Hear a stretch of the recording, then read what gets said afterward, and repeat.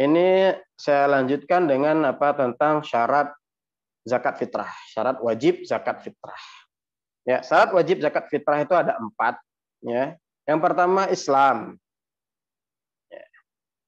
Maka tidak wajib atas orang orang kafir. Kemudian yang kedua syaratnya adalah tenggelamnya matahari di hari terakhir Ramadan. Kalau Ramadannya 29 hari berarti tenggelamnya ya matahari di tanggal 29 Ramadan. Kalau Ramadannya 30 hari, tenggelamnya matahari di tanggal 30 30 Ramadan. Kemudian ikhwati arsyadin yasadakumullah rahimanallahu yakum. Nah, maksudnya ini seperti apa? Jadi begini, ya. Ini ada dua hal. Maksudnya kenapa ada tenggelamnya matahari di akhir Ramadan? Jadi maksudnya adalah ya adalah orang yang mendapati bulan Ramadan dan bulan Syawal ya dalam kondisi hidup tentunya. Ya, dia mendapati ah Ramadan dan Syawal, mendapati dua-duanya. Nah, maka orang yang seperti inilah wajib baginya wajib dikeluarkan zakat fitrahnya. Ya. Jadi kalau ada orang misalnya saudara, ya, entah itu tetangga atau saudara kita, kemudian di malam 29 atau di hari terakhir puasa dia meninggal.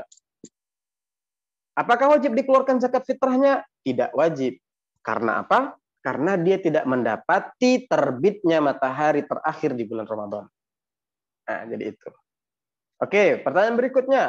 Kalau ada misalnya orang ibu-ibu hamil, lahir anaknya apa setelah tadi buka terakhir, buka puasa terakhir, ya.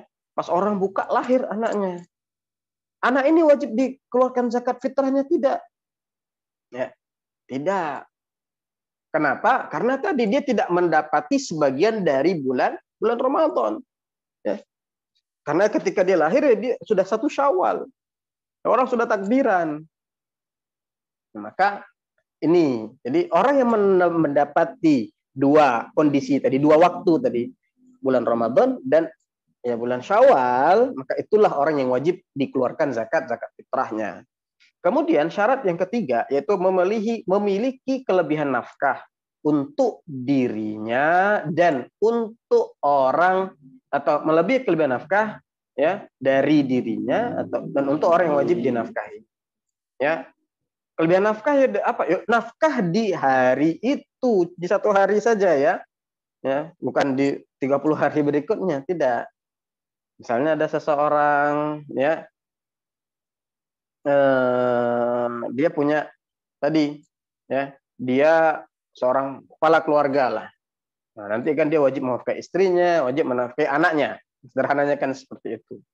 Nah, tadi ya ketika dia memiliki kelebihan nafkah, oke rumah itu dia sudah kontrak satu bulan misalnya, kemudian eh, apa pakaian ya juga juga sudah punya misalnya keluarganya, kemudian di malam di hari itu dia hanya punya misalnya uang seratus ribu, kita hitung, oke tadi nafkah apa tempat tinggal udah dapat, pakaian udah dapat, oke sekarang Ya, nafkah makannya bagaimana? Dia hanya punya uang seratus ribu misalnya. Oke. Nah itu berapa? Misalnya sekali makan, ya eh, apa? Sekali makan itu misalnya dia satu mut, ya. Satu mut itu ya tadi kemarin tuh 675 gram beras, misalnya nafkahnya. Nah, itu berapa sekarang? Nggak nyampe satu kilo. Ya mungkin sepuluh ribu lah kita anggap misalnya sepuluh ribu untuk dirinya, ya istrinya, anaknya, Nah, ternyata apa? Ternyata dia untuk makan sehari itu dia hanya hanya apa butuh berapa 50 50 ribu. Ternyata masih ada sisa 50 ribu lagi. Ah, ini orang seperti ini dia memiliki kelebihan kelebihan dari apa? Dari ya eh, kebutuhan dia di hari Id. Maka ketika seseorang memiliki kebutuhan memiliki kelebihan dari kebutuhan primernya, di hari Id maka wajib baginya untuk apa? Untuk mengeluarkan zakat fitrah. Ya. Wajib baginya mengeluarkan zakat zakat fitrah. Ya, ini terkait dengan syarat wajibnya zakat fitrah. Kemudian yang keempat adalah merdeka. Maka tidak wajib bagi siapa? Bagi budak. Oh. Terus kalau budak budak nggak wajib, Terus nggak dikeluarkan? Oh enggak, ya. Yang mengeluarkan siapa? Kewajibannya pindah kepada siapa? Kepada yang menanggungnya. Siapa menanggungnya? Tuannya. Itu konteks budak. Karena memang pembahasan tentang budak itu sudah tidak apa bukan tidak relevan ya. Maksudnya tidak ter, tidak ada hari ini ya kita skip. Ya. Kemudian ikhwatul syadina syadakumullah rahimanallahu iyakum. Ya. Sekarang kadar zakat fitrah. Kadar zakat fitrah itu berapa? Dalam madhab syafi'i yaitu satu sa' Satu sa' itu berapa? Ya, satu sa' itu empat mud. Ya, satu mud itu berapa? Tadi sudah kita singgung, kurang lebih 675 ya gram. Ya, 675 gram.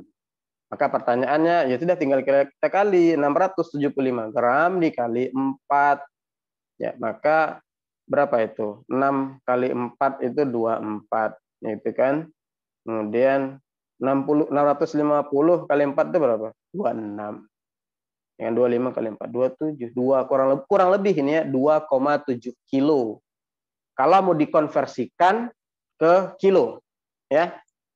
Jadi zakat itu dua, kurang lebih 2,2 kilo 75,75.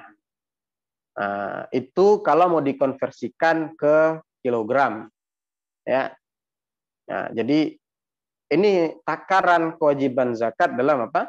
Dalam madhab syafi'i. Ya.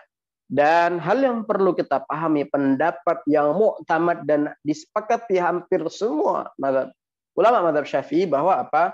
Bahwa zakat fitrah itu harus dengan bahan makanan pokok ya tidak sah dengan uang itu dalam madhab madhab syafi'i ya nah Terus bagaimana? Sekarang kan ya ringkesnya itu kan orang orang apa namanya zakat pakai uang. Maka ada beberapa solusi hari ini. Ya, ada beberapa solusi penawaran. Uh, penawaran solusi, saya. Ya. Uh, pertama, ya.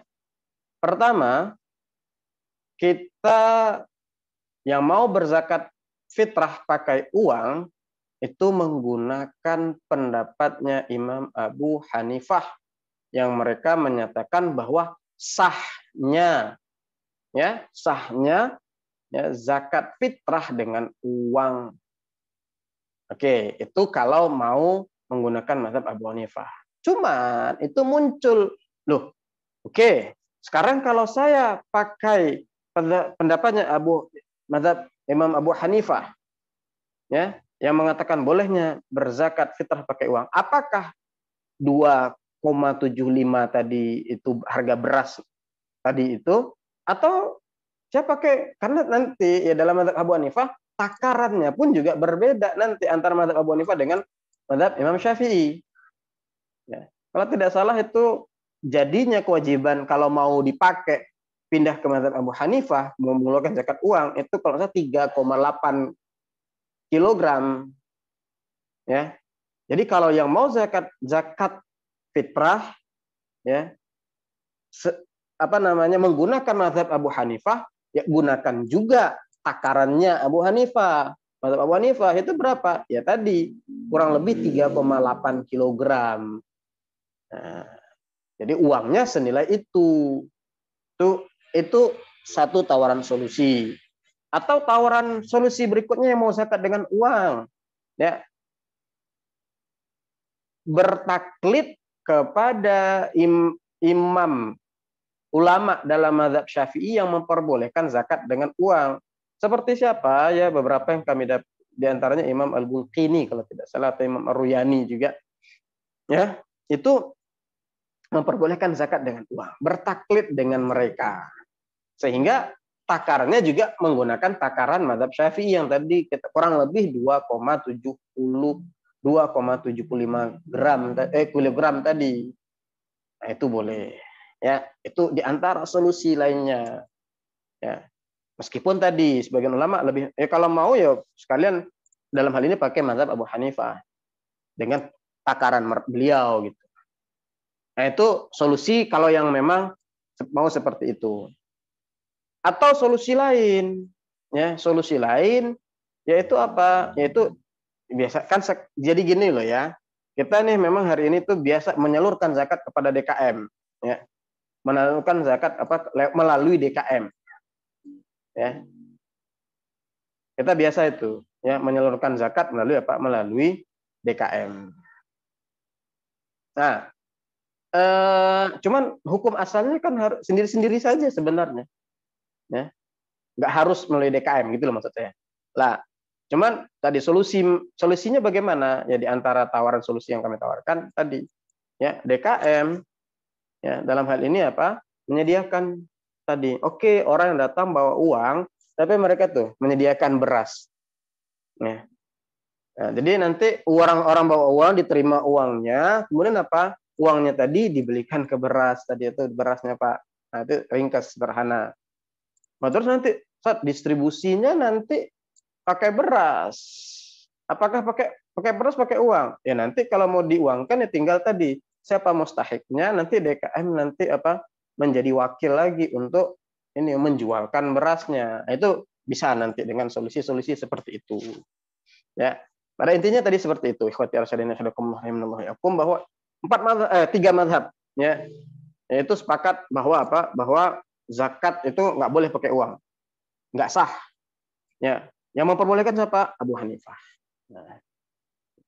Ya masalahnya di sini. Ini juga nanti sering juga menjadi bahan perdebatan. Ya maksud saya tadi, kalau mau pilih ini ya silahkan. Ya, zakat pakai uang, taklid kepada mazhab Abu Hanifah, ya dengan takaran mereka. Atau tadi taklid kepada Imam Al-Bulkini. Atau taklid tadi kepada Imam Royani misalnya dalam mazhab Syafi'i. Ya, atau tadi dengan solusi yang diberikan tadi. Ya, ikhwatir syadina sadakumullah rahimanallahu yakum. Kemudian waktu mengeluarkan zakat fitrah bagaimana? Ada waktu jawaz, ya waktul jawas. Maksudnya waktul jawas itu apa? Ya. Waktul jawas itu maksudnya adalah ya itu boleh. Kapan waktul jawas ya? Waktul jawasnya kapan? Ya, waktul jawasnya adalah ketika masuknya bulan Ramadan. Maka itu kita sudah diperbolehkan, sudah diperkenankan itu untuk mengeluarkan zakat fitrah ya. Dan itu diperbolehkan ya. Dan itu sudah diperbolehkan. Itu waktu waktu jawas ya. Itu kalau tadi jadi udah masuk Ramadan ya udah masuk Ramadan kemudian boleh bagi kita untuk tadi apa namanya eh, sudah boleh mengeluarkan zakat fitrah ya jadi itu diperbolehkan. Waktu wajibnya, ya tadi waktu wajib sudah kita singgung tadi. Ya, waktu wajibnya kapan? Ya, ketika apa? Matahari tenggelam itu tadi, maka sudah jatuh kewajibannya seseorang untuk membayarkan zakat fitrah. Sudah wajib jatuhnya. Waktu yang afdolnya kapan? Yaitu apa? Ya pada hari Id setelah terbitnya fajar, setelah sholat subuh dan sebelum sholat Id. Ya, jadi waktu berapa tuh? Kurang lebih dua jaman lah kurang lebih. Itu waktu yang afdolnya. Ya. Meskipun tadi kita lihat dalam hal ini para DKM yang mendapati titipan eh, amanah menyalurkan itu ya itu mereka biasa udah udah membagikannya jauh-jauh hari sebelumnya itu nggak masalah ya ya nggak masalah ya. Kemudian ada waktu apa? Waktu ya makruh. Oh ya, terkait dengan ini kami juga mengingatkan kepada teman-teman yang diamanahi menjadi DKM dan lain sebagainya, ya usahakan tadi ya apa eh, zakat itu didistribusikan sebelum sholat id, didistribusikan sebelum sholat id. Karena apa? Eh, karena anda para DKM adalah wakil dari orang yang membayar zakat. Ya, kalau Anda wakil dari orang yang membayar zakat, ya tadi ya Anda harus bertasarruf, harus uh, melakukan apa yang terbaik untuk mereka, yaitu apa? Mentasarrufkannya di waktu fadilah. Jangan kita mentakhirnya, jangan kita kemudian apa? mengulur waktu. Ya, yang kacau adalah kita ulur waktu sampai misalnya ya masuknya waktu apa? haram. Oh, Udah habis hari Id baru kita distribusikan. Itu haram hukumnya. Ya. Nah ini hati-hati nih DKM itu amanah ya. Jadi ya didistribusikan di waktu-waktu yang tidak membahayakan bagi orang yang membayar itu. Ya. Yang membahayakan apa? Ya, waktu haram. Ataupun juga menghindari waktu makruh. Waktu makruh apa? Setelah sholat id sampai tenggelamnya matahari di hari id itu. Itu waktu makruh. Adapun setelah itu ya adalah waktu waktu haram mengeluarkan apa namanya eh, zakat eh, fitrah. Ya, ikhwati arsyadina syadakumullah rahimanallah yakum. Maka dengan itu tadi itu adalah sekilas ya eh, apa namanya hukum-hukum yang berkaitan dengan eh, puasa Ramadan ya itu tadi tentang sunnah-sunnahnya tentang makruh-makruhnya tadi ada makruh yang ketinggalan itu makruhnya adalah apa? Yang hal yang makruh itu ghibah, namimah, berkata dusta dan lain sebagainya. Itu makruh-makruh. Bahkan yang dapat merusak bahkan menghilangkan ya pahala puasa. Ya. Kemudian mak, tadi makruh, kemudian yang salat salat taraweh, yang salat witir dan tentang zakat fitrah. Ya, ikhwati arsyadin arsyadakumullah himanallah yakum. Ya, mungkin ini dulu yang dapat saya sampaikan pada kesempatan malam hari ini. Mudah-mudahan bisa bermanfaat bagi saya dan antum sekalian ya menjadi bekal ilmu bagi kita dalam menghadapi bulan Ramadan ini sehingga ketika kita menghadapi bulan Ramadan ini dengan ilmu, kita menghadapinya dengan mantap. Kita menghadapinya dengan yakin dan fokus kita di bulan Ramadan ini amal. Ya. Jadi ikhtiar syadin ini juga pesan kepada diri saya pribadi, kepada antum sekalian juga. Ya, hari ini ya di antara hal yang banyak mencuri uh, apa ya potensi amal kita itu kan sosial media. Ya, saran saya juga di bulan Ramadan, marilah ada azam dari kita, kita kurangi untuk berinteraksi. Kalaupun misalnya gini, misalnya ini ini, ini saya, saya kasih ini saja. Misalnya kita sediakan di bulan Ramadan itu waktu khusus kita untuk zikir, ya. Habis habis maghrib sampai ya habis ish, habis apa namanya habis asar sampai orang berbuka misalnya. Kita sediakan itu ya.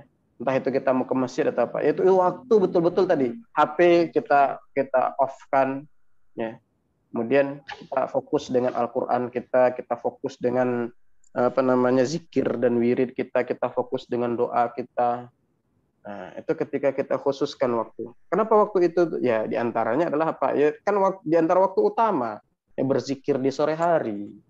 Ya. Nah jadi ketika kita khususkan waktu itu kemudian kita lazimi waktu itu di bulan Ramadan. Ya, apalagi kan di beberapa apa instansi-instansi itu kalau Ramadan kan pulangnya juga bisa jadi lebih cepat. Ya, nah, itu kita lazimi coba hal-hal seperti itu. Ya insya Allah nanti antum coba antum bayangkan dua jam, dua jam di setiap hari. Antum kali 30, 60 jam ya interaksi antum. Tapi tadi antum bawa mushaf, antum bawa wirid, zikir pagi petang, antum bawa buku doa-doa ke masjid HP tinggal di rumah. Nah, itu di antara saran dari saya tentunya ini ya juga saran bagi kita semua ya agar tadi Ramadan kita tuh lebih berkualitas dan lebih maksimal. Wallahu a'lam ya.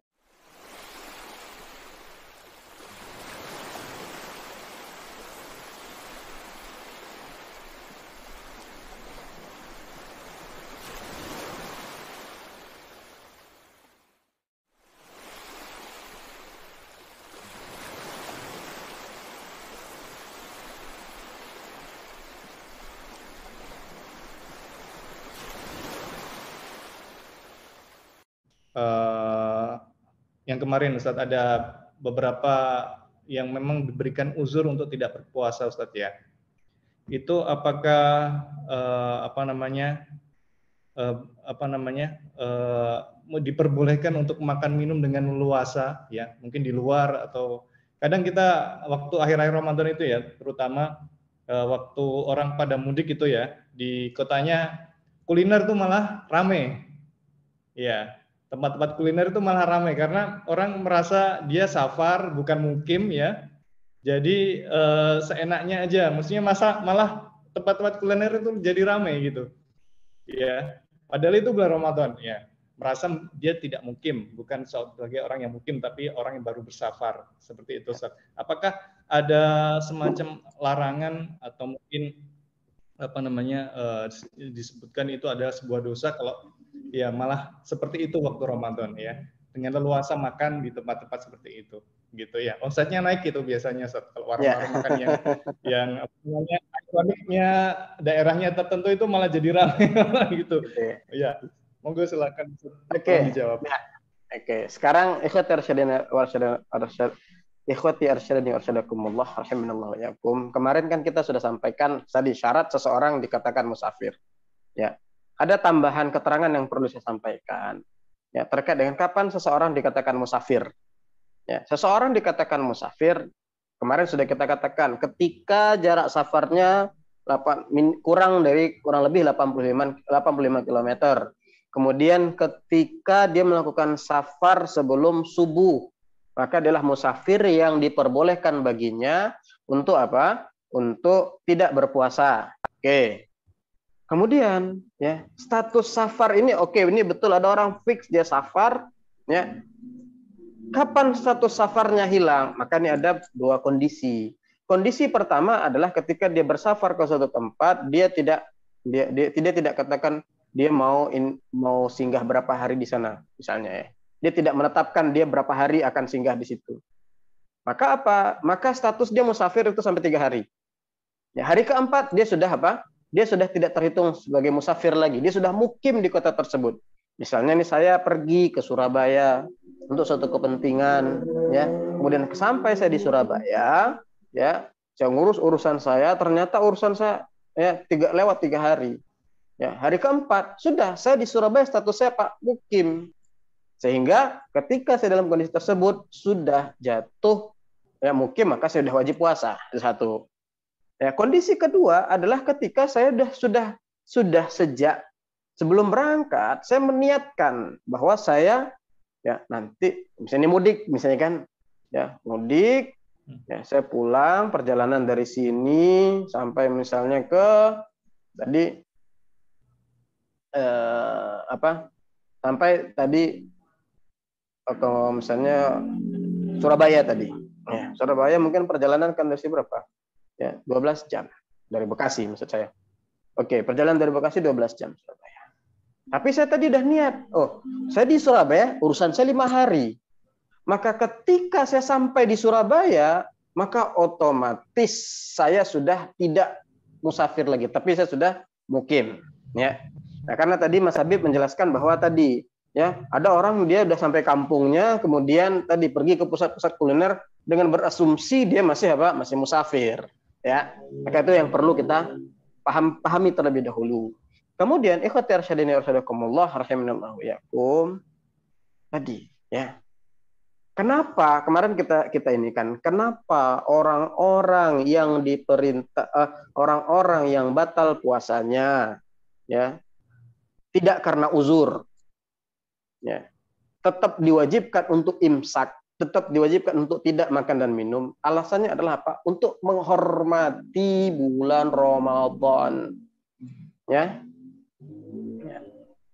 Untuk menghormati apa? Bulan bulan Ramadan. Ya. Nah ini ini hal yang apa namanya ini suatu, suatu makna yang agung.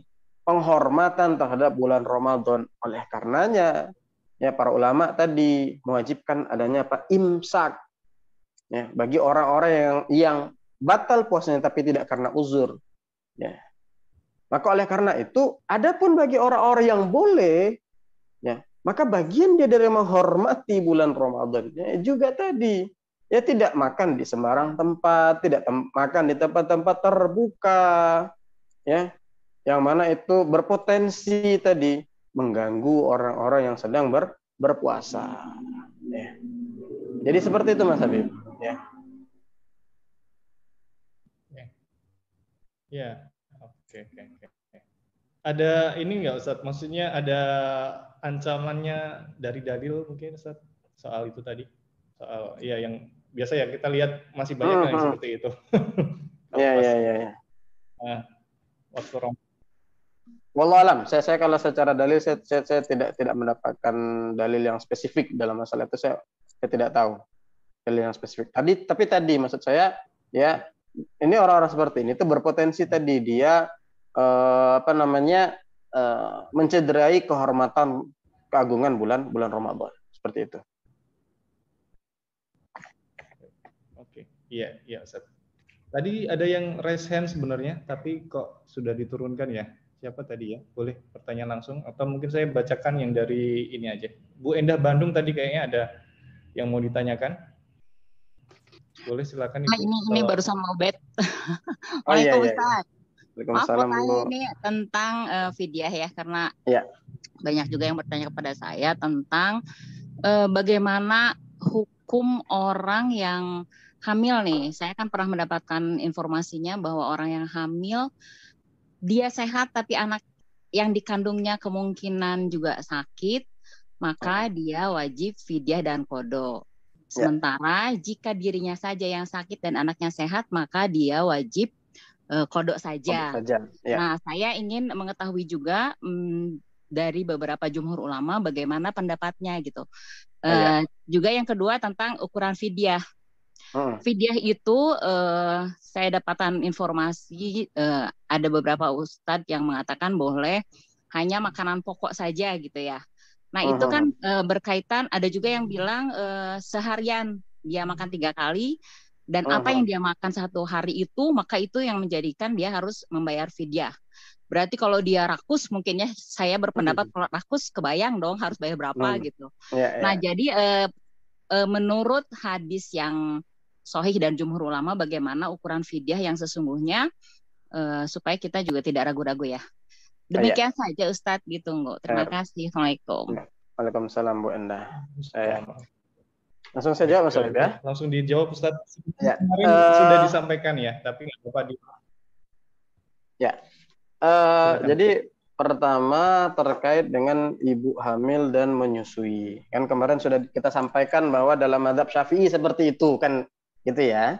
Ya dalam madhab Syafi'i bahwa ibu yang hamil dan menyusui ya kalau dia sakit tapi anaknya sehat maka dia wajibnya kodok. Kalau dia sehat tapi anaknya sakit atau kemudian dia dia tidak berpuasa maka wajibnya membayar fidyah dan apa? Kodok. Ya. Kalau dia dan anaknya sakit maka hanya membayar kodok hanya kodok saja. Ya. Itu kemarin dalam madhab syafi'i. Ya. Kemudian bagaimana pendapat madhab lain. Siapa tahu bisa menjadi alternatif ataupun keringanan bagi ibu-ibu hamil dan menyusui. Ya jumhur para ulama ibu endah bahwa dan dan ikhwah sekalian jumhur empat madhab sepakat tentang kewajiban kodok itu dulu. Empat madhab sepakat. Ya baik madhab Abu Hanifah madhab uh, Malikiyah, madhab Hanabila itu sepakat bahwa wanita yang hamil dan menyusui apa pun kondisinya wajib membayar fidyah. Ya. Nah, itu. Eh, afan, maaf, maaf, bukan wajib wajib mengkodok puasa.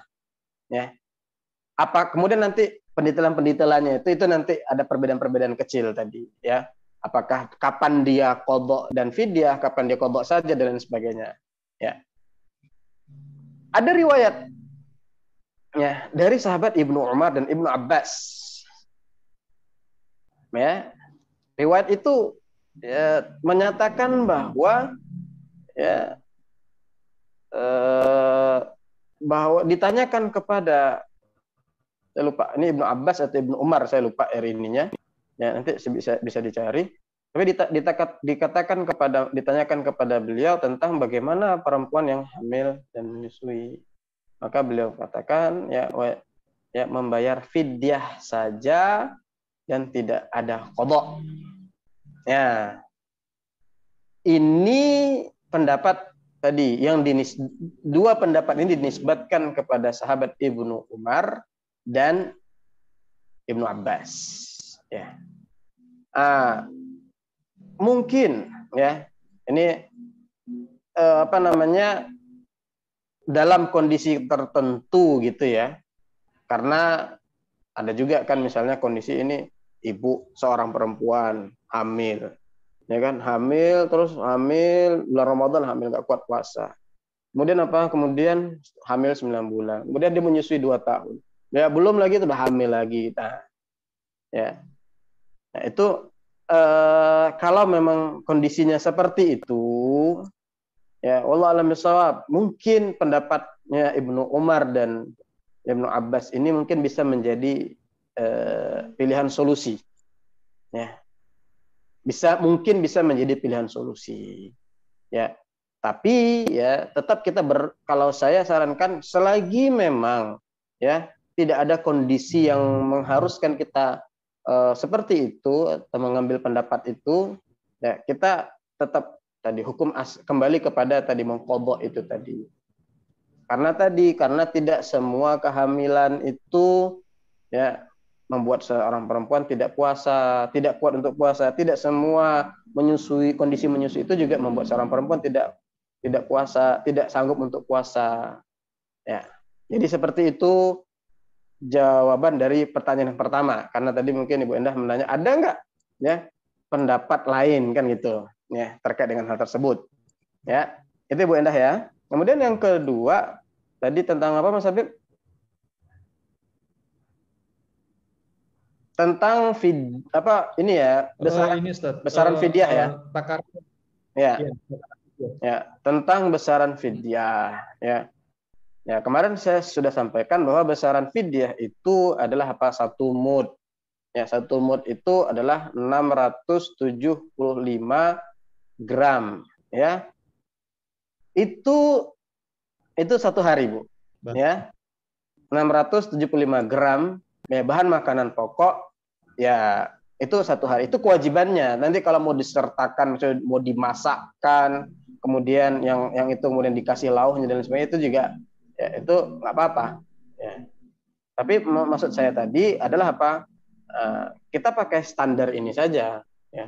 Agar tadi bu maksudnya kalau kita pakai wah ini standar makanan dia ya. Eh, kalau dia rakus bagaimana? Kalau dia sedikit makannya bagaimana eh, khawatirnya standar itu menjadi tidak tidak baku uh, Bu Enda ya jadi saya sarankan kita menggunakan standar yang ini saja. Ini sudah jelas ya ukurannya. Ya, beras nah 675 gram atau, atau kalau mau lebih kita lebihkan ya satu kilo misalnya. Nah, tadi tidak tidak lagi wah ini harus tiga kali harus dua kali karena hal-hal tadi bu ya itu kan tadi oke okay, kita misalnya di Indonesia sekarang makannya tiga kali. Sekarang kalau orang di Arab misalnya mereka makannya dua kali misalnya. Kalau ya orang lagi diet ntar makannya satu kali ya.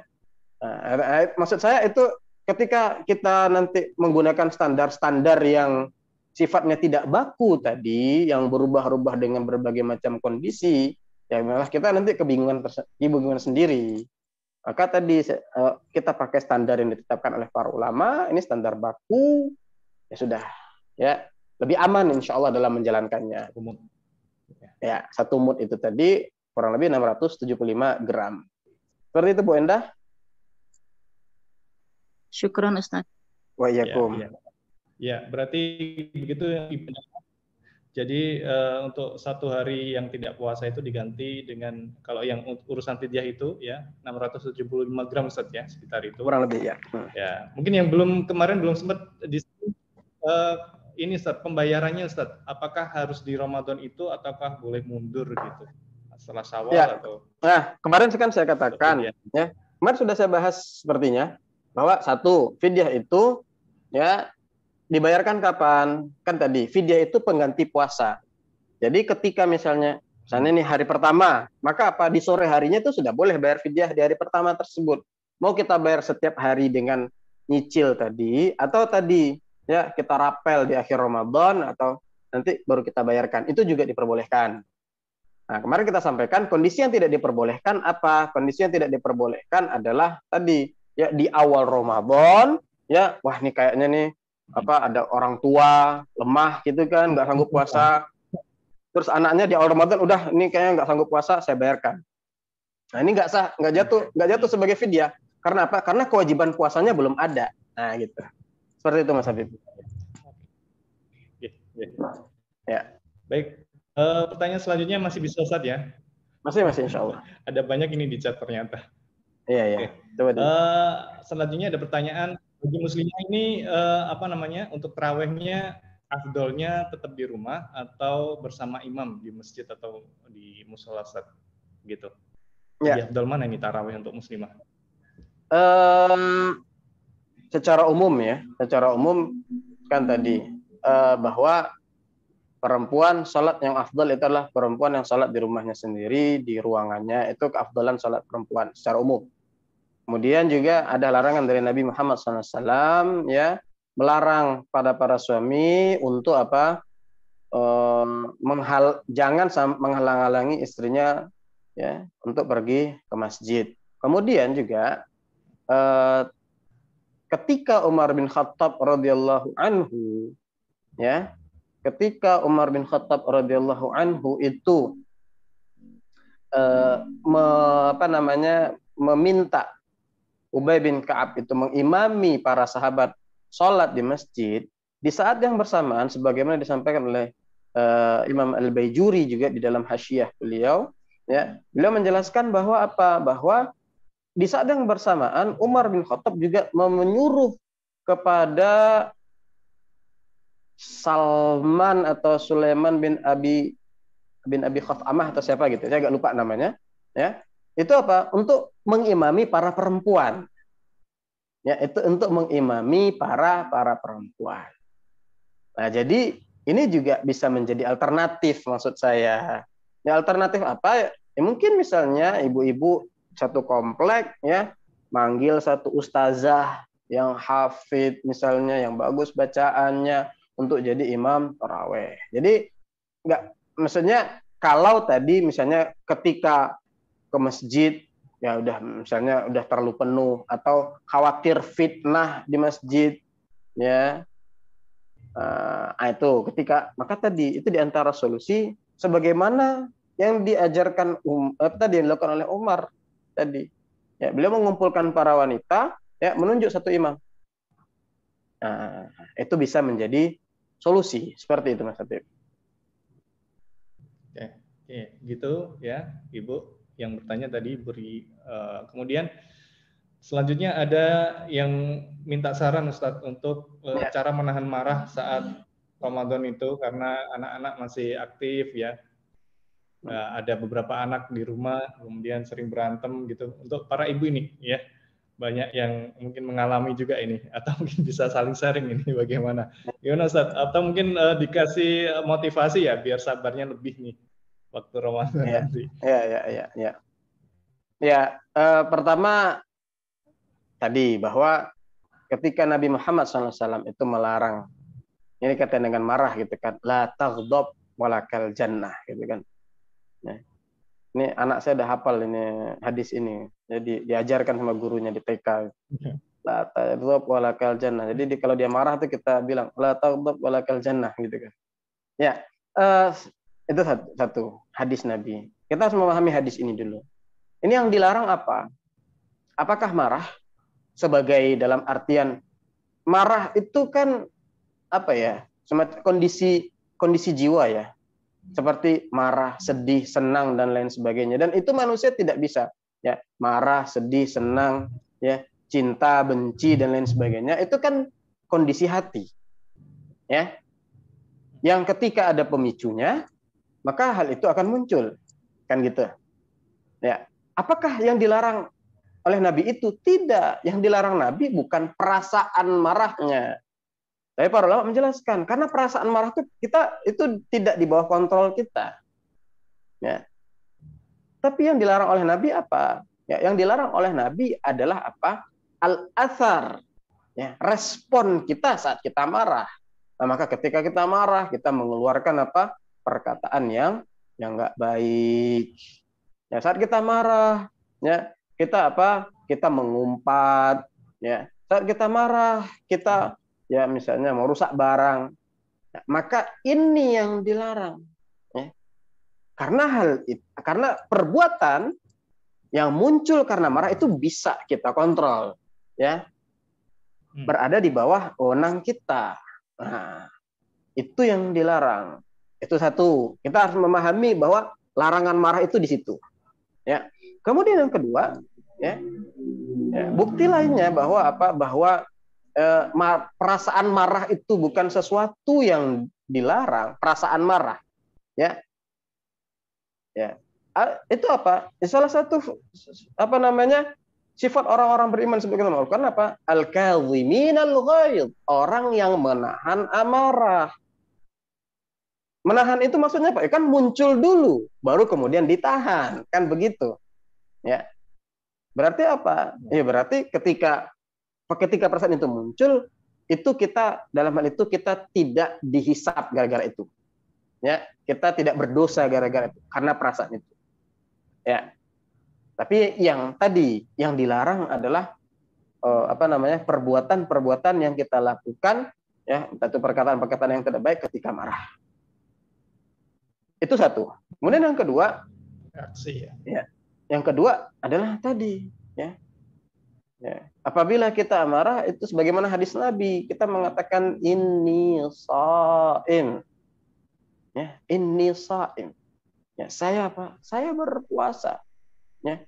Dan puasa itu ya adalah apa? Di antara hal yang batinnya adalah apa? Menahan diri kita dari syahwat dan melampiaskan kemarahan itu adalah bagian dari syahwat. Nah, jadi itu kita ingatkan, ya, kita itu puasa. Ya Ketika kita marah, pahala puasa kita hilang. Nah, jadi kita munculkan hal-hal seperti itu. Ya, apalagi misalnya kalau di tempat saya tinggal itu kan Bekasi, Jakarta itu kan rentan sekali orang berangkat kerja macet, ya senggolan dikit, ya itu kadang rentan tersulut emosi. Ya, seperti itu. Uh, kemudian yang berikutnya adalah ya kita lakukan apa namanya nasihat Nabi juga terkait dengan orang yang marah.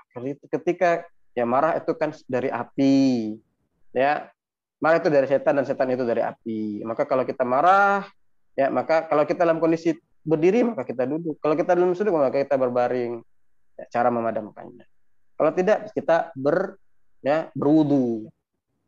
Nah jadi itu di antara apa namanya tips-tips eh, yang bisa kita lakukan agar menghindari pelampiasan kemarahan. Jadi bukan menghindari amarah tadi ya, bukan menghindari perasaannya tapi menghindarkan ya pelampiasan amarah kita kepada hal-hal yang tidak diridhai oleh Allah Subhanahu wa taala kepada hal-hal yang ya berpotensi merusak pahala puasa kita. Seperti itu. Wallahu a'lam bishawab. Ya terima kasih ya. Jadi uh, untuk saran Nabi tentang ya kalau kalau kamu apa namanya sedang marah maka mengatakan ini soim itu sebenarnya untuk diri kita sendiri ya ngomongnya Ustaz ya. Bukan yeah, mau yeah. pamer ke orang loh. Saya kalau bukan gitu ya Sat. ya, betul, Tapi betul. sebenarnya mau mengingatkan diri sendiri ya, mengingatkan kepada diri kita sendiri kalau sedang puasa ya, ya, ya. sebaiknya memang harus ditahan gitu ya. Dan sekali Baik, lagi kemudian ya. Ya. Ya terus terus Mas. Boleh saya? Ya lanjut lanjut. Kemudian uh, lanjutan pertanyaan selanjutnya ada dari siapa nih? Alfia Nurul, Nurul ya. Ini ada pertanyaan bagi seseorang yang ini saat yang pikun ya. Uh-huh. ya kadang apa namanya kadang ingat kadang pikun ya apakah ini secara hukum uh, tidak berpuasa dan wajib membayar ya gitu saat ya. hari ini kadang apa kelihatannya ingat ya tapi nggak tahu ya. kapan tiba-tiba lupa jadi sehari itu bisa ya, ya lupa ya ingat gitu loh bagi ya. orang orang tua yang seperti itu terutama ya. ya. Uh, maka dilihat kalau memang tadi ya uh, dia pik, pikunnya itu tadi dalam kondisi yang tadi hitungannya jam. Ya sekarang ingat nanti jamnya ingat. Ya kalau kalau udah hitungannya jam kan berarti kan berarti nanti ada kan kondisi di mana dia tidak berakal ketika dia hmm. berpuasa. Nah ya kan? Nah, kalau memang kondisinya seperti itu ya sudah ini tidak sudah tidak wajib lagi dia udah nggak berakal. Tapi kalau misalnya ya sepekan pikun, kemudian nanti sepekan lagi dia berakal misalnya. Nah, ini dalam ada seperti para ulama itu menyebutkan al-junun al-mutaqatti'ah, kondisi ya gila tapi gilanya itu tidak permanen ya, gilanya temporer ya. Nah, maka tadi, maka bagaimana orang seperti ini? Ya ketika dia normal, ya sudah dia mukallaf. Ya, maka ketika dia normal dia wajib puasa kan gitu. Ketika dia uh, dalam kondisi gilanya dia tidak wajib puasa. Nah, jadi seperti itu, Mas. Oke, ya. Selanjutnya Ustaz, ya. uh, ada pertanyaan lagi dari Ibu Nailil ya mungkin ya. Ini bertanya bagaimana kalau yang utang puasa sebelumnya belum terbayar semua Ustaz. Masih ada utang nih padahal sudah masuk Ramadan. Nah, ini konsekuensinya bagaimana Ustaz? Ya, uh, dilihat apa penyebab dia tidak mampu membayar hutang. Ya. Apa penyebab uh, dia tidak mampu membayar hutang? Kalau ketidakmampuannya membayar hutang itu karena eh, apa namanya ketidakmampuannya membayar hutang itu karena uzur ya. ya tadi misalnya ibu yang hamil dan menyusui uzur ya sepanjang tahun itu dia hamil dan menyusui atau misalnya kemarin ya para pekerja berat dengan kondisi yang sudah kita sampaikan ya tidak jangan salah dipaham jangan disalahpahami khawatirnya kan para pekerja berat ya kemudian dia sepanjang tahun bekerja ya maka orang-orang dengan kondisi seperti ini, ya, jadi penyebab dia tidak bisa mengkodok karena kondisi uzur, ya, maka ya, maka tidak apa-apa baginya. Tidak ada, dia nggak berdosa, ya. Ketika udah masuk Ramadan berikutnya, kodoknya belum tuntas. Oke, itu. Uh, itu yang pertama. Itu yang pertama. Kondisi yang kedua, kalau ternyata ya ini karena keteledoran dia, ya karena keteledoran dia dia apa dia eh, ada waktu untuk mengkodok, ada ada ada kondisi yang di mana dia bisa mengkodok, misalnya, eh ternyata tidak digunakan untuk meng mengkodok. Nah, orang seperti ini ketika sampai bulan Ramadan berikutnya, karena tadi waktu kodok itu rentangnya tadi, ya sampai sampai Ramadan berikutnya. Maka dia pertama berdosa. Ya. Karena dia mengakhirkan kodok melebihi dari waktunya. Ya, sama kayak orang mengakhirkan sholat di luar waktu tanpa ada uzur kan gitu ya. Nah, dia berdosa dalam hal ini. Kemudian apa? Hal yang berikutnya ada kewajiban baginya untuk apa? Untuk mengkodok lagi. Jadi tidak hilang. Ya, tetap ya, tetap eh, apa namanya? Tetap di ini kan tetap dikodok di di Ramadan setelahnya. Nah, itu. Nah, ini kan mumpung mumpung masih ada beberapa hari ini. Ya maka tadi yang masih punya hutang-hutang puasa diingat-ingat lagi masih ada enggak yang tahun kemarin mudik misalnya yang kemudian perempuan haid atau ibu hamil menyusui dilihat. Nah, maksimalkan waktu sisa yang ada untuk mengkodok puasanya. Seperti itu Mas Abdul. Ya, jadi tetap harus mengkodok walaupun uh, ya. ternyata udah masuk Ramadan ini ya. Jadi ya. yang tahun sebelumnya juga jadi hutang yang harus dilunasi ya untuk ya. setelah Ramadan itu ya. Ya. Oke. Tadi ada yang raise hand kayaknya Mas Selanjutnya Oh, sebentar. Saya Pak siapa tadi? Dodi Tidak apa ada. siapa tadi? Pak Dodi apa siapa tadi? Ya. Sudah turun kayaknya. Oh ya. Ya. Ini ada yang tanya tentang sholat terawih dari Ibu Erniati Sofyan. Ini beliau bertanya, uh, ya seorang bepergian kemudian kurang fit, ya tidak terawih, ya habis isya langsung tidur, ya sudah ikut isya ya, sudah sholat isya. Kemudian dia bangun malam, apakah dia uh, masih bisa sholat terawih atau dianggap sholat tahajud, Ustaz? Ya maksudnya mungkin ya. sendirian ya. Iya, ya betul betul. Ya, tadi kan sunnah sholat raweh ini mungkin yang dia, yang beliau maksud ini kan sholat raweh tadi dijelaskan sunnahnya untuk berjamaah ya. Ini ini dalam kondisi tersebut apa ini niatnya nanti sholat raweh atau sholat tahajud aja Hmm. Kalau yang seperti ya. Hmm. uh, ya. Uh, bahwa yang pertama ya bahwa ketika dia tadi kecapean akhirnya nggak taruh di masjid ya secara berjamaah gitu kan hmm. kemudian dia taruh sendirian dapat dia tidur kemudian bangun malam ya apakah kemudian hmm. dia masih apa boleh sholat taraweh sendirian boleh ya kan tadi kita katakan bahwa sholat taraweh itu ya itu memang disunahkan dikerjakan secara berjamaah, namun tetap sah juga apabila dikerjakan secara sendirian. Jadi masih dapat sebagai taraweh. Ya. Baik, uh, selanjutnya ini dari Pak Herman Gunadi menjelaskan uh, menanyakan ya lebih tepatnya tentang riwayat Aisyah yang 11 rakaat itu tidak dia, uh, dianggapnya sholat witir bukan dianggap sholat tarawih. Ya. Apakah dalilnya Ustaz dari siapa itu? Kemudian juga hadis mana yang menjelaskan jumlah rakaat sholat tarawih kalau yang diriwayatkan Aisyah itu bukan sholat tarawih gitu Ustaz? Uh, Monggo silakan. Iya. Uh, jadi ini pertanyaan tentang siapa yang apa uh, mengatakan bahwa yang 11 rakaat itu bukan salat tarawih. Ya. Ulama Syafi'iyah, Pak. Ya. Kita di antaranya tadi di antara yang saya bawakan tadi misalnya perkataannya dari uh, Imam Al-Baijuri di dalam hasyiahnya dan dan ulama-ulama Syafi'iyah kita membawakan hadis itu, Pak, ya. Itu tentang salat witir. Jadi ketika mereka membawakan salat witir, beliau bawa, mereka bawakan asar itu. Ya. Nah, jadi itu eh, Pak Herman. Itu satu. Ya. Kemudian dan hadis mana yang menjelaskan bahwa ya rakaat salat tarawih Nabi yang direkaat Isya itu bukan salat tarawih, ya. Misalnya tadi Pak bisa dengan hadis yang tadi salatul laili masna masna salat malam itu ya dua eh, dua dua fa idza khasyiya ahadakum subha dan apabila kalian khawatir akan masuknya waktu subuh, ya maka falyutir biwahidah, witir dengan satu rakaat. Ya, itu tidak ada pembatasan jumlah, Pak. Ya.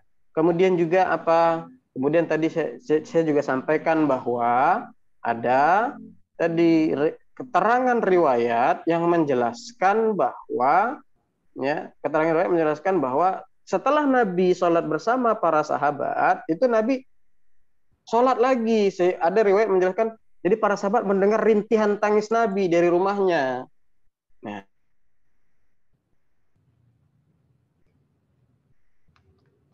Ya.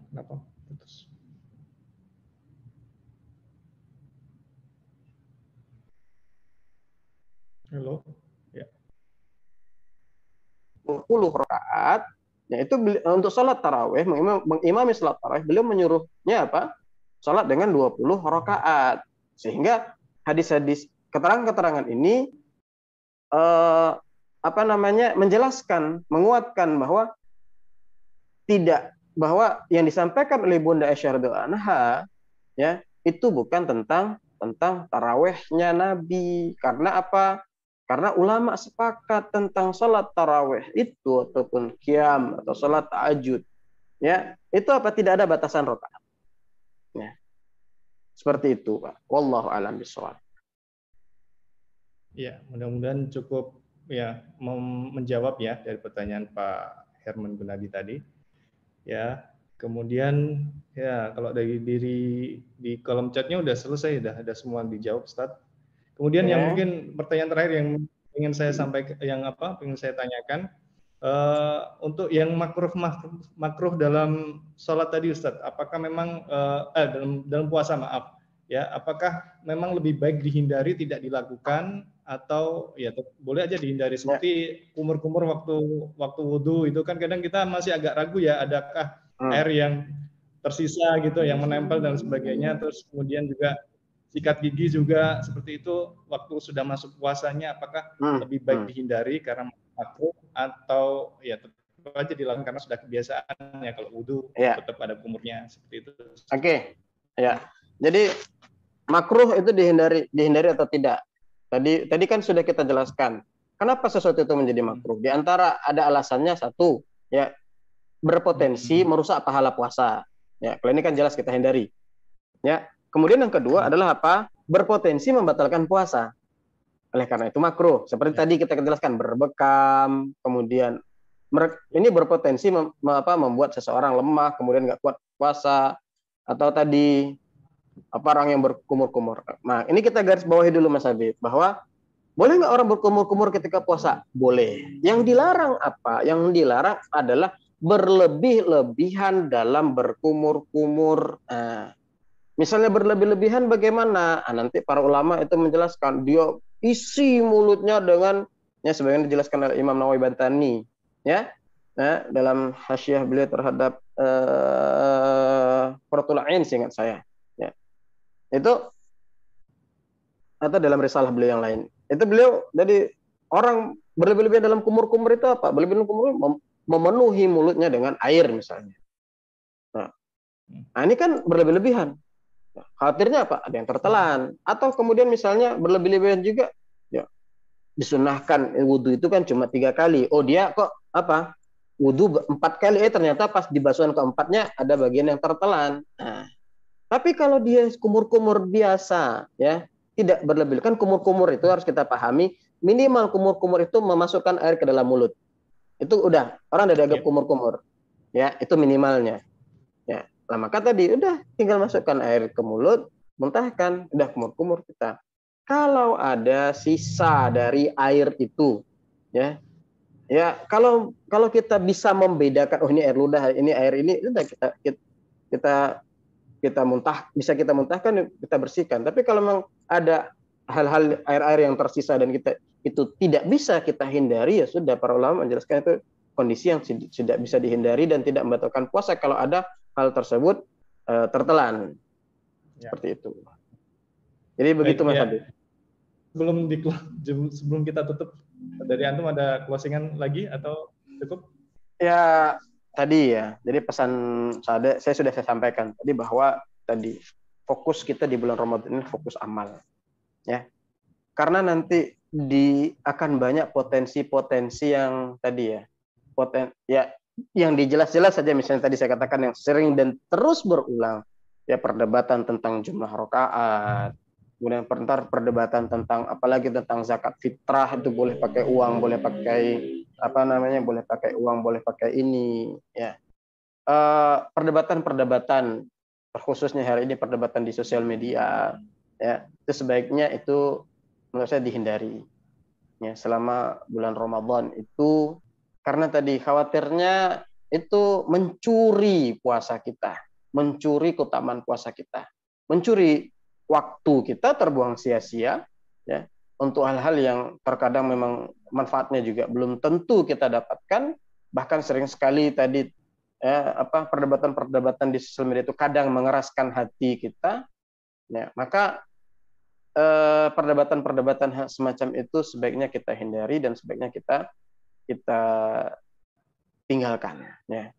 Maka fokus kita ya dan tema yang ingin pesan ingin sampaikan lewat ini adalah tadi berbekal yang kemudian dengan bekal ini kita mantap beramal. Kan poinnya di situ.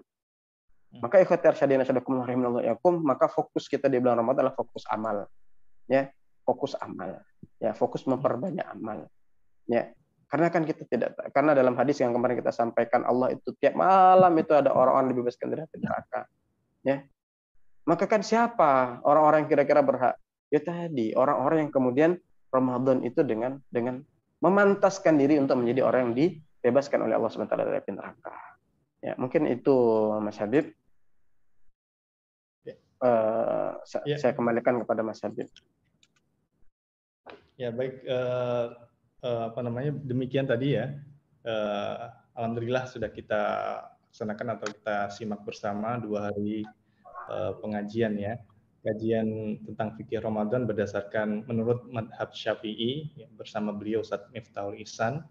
Ya, kita uh, semoga ya mendapatkan banyak manfaat dari perjumpaan dua hari ini dan mudah-mudahan nanti kita dari penerbit Akwam juga akan mengadakan hal yang sama ya kajian online lagi di lain kesempatan dengan tema yang lain. Mudah-mudahan uh, bisa ada rezeki lagi kesempatan untuk membuat uh, acara zoom atau kajian online lagi.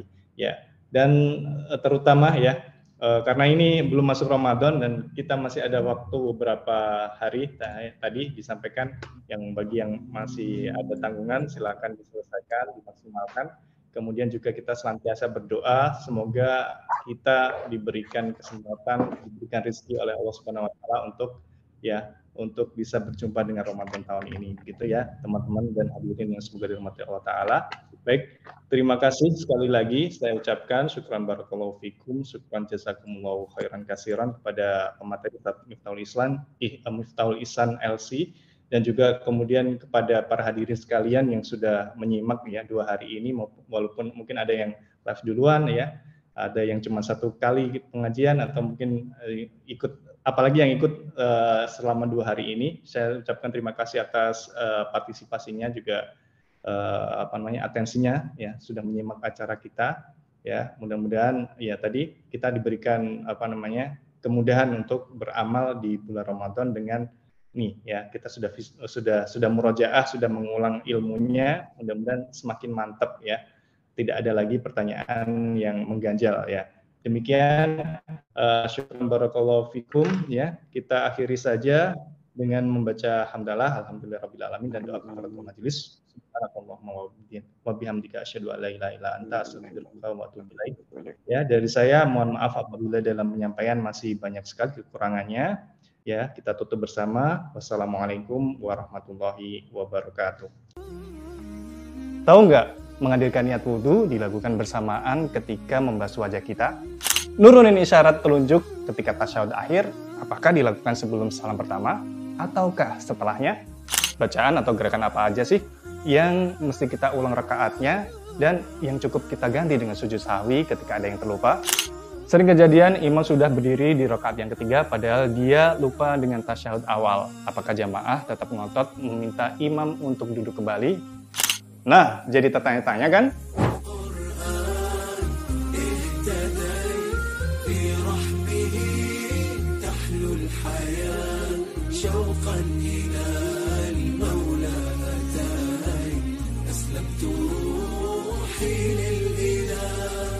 Kita mulai dari jempolnya, kemudian seterusnya. Perbaiki sholatmu, maka Allah akan perbaiki hidupmu. Yuk mulai dari sini.